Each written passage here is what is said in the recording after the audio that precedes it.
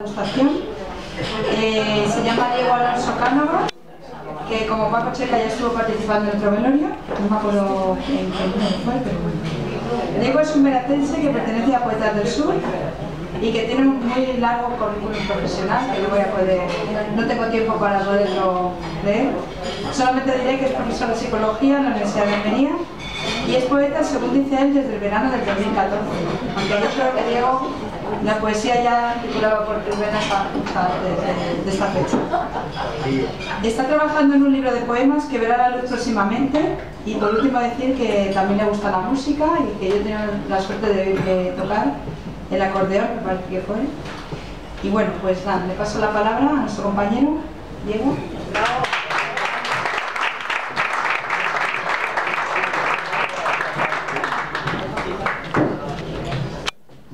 No sé cómo tengo valor de subirme allí después del nivel de mis predecesores.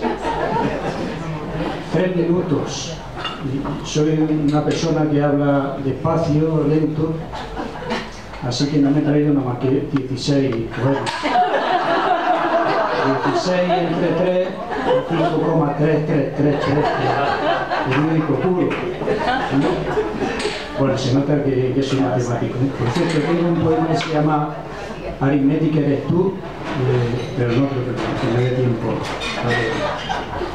Voy a leer uno que no es un soneto, se llama Más allá.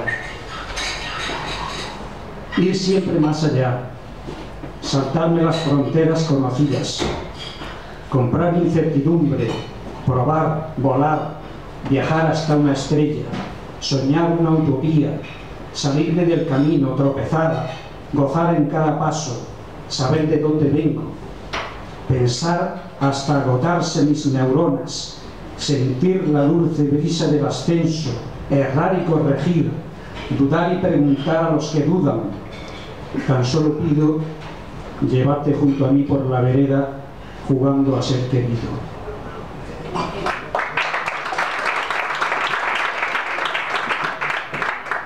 Yo el otro día en mi casa leyendo poema de un, de grandísimo poeta ya fallecido y me di cuenta que no entendía absolutamente nada.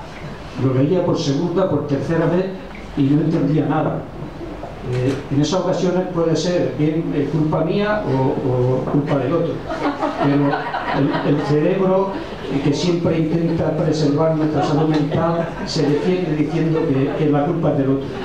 Así que en ese momento me dictó unos versos que se llaman así, poesía aburrida, que se lo dedico pues, al, poeta que me los inspiró. Me aburro con tu verso tan hermético que oculta tanto y tanto la belleza que llego a imaginar que a mi cabeza le falta el circulito de lo estético. No entiendo tu vocablo tan sintético, tu rica erudición de tal dureza que evoca en mí complejo de torpeza y empieza a sospechar algo genético. Leerte es descifrar un jeroglífico, es como rellenar un puzzle inmenso. Por mucho que tu verbo sea magnífico, si no dejas de usar lenguaje denso, te juro que esta noche yo te leo para caer en brazos de un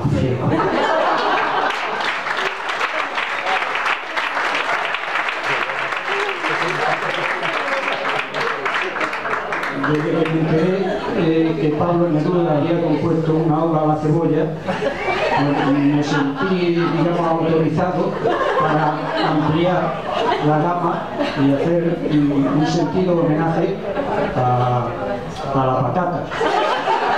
A la humilde patata, porque también las patatas son hijas de Dios.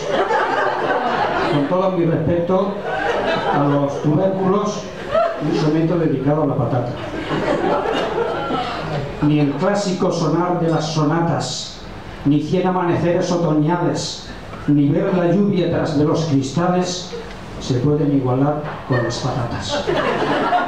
Tubérculo divino que arrebatas las almas y los cuerpos verticales, cocido o en tortillas nacionales, los más bajos instintos me desatas. Segundo gran placer de nuestra vida. Primero, si te como con pimiento, cebolla, huevo frito y con bebida. Propongo levantarte un monumento, un santo monolito a la comida y hacerte la patrona del hambriento.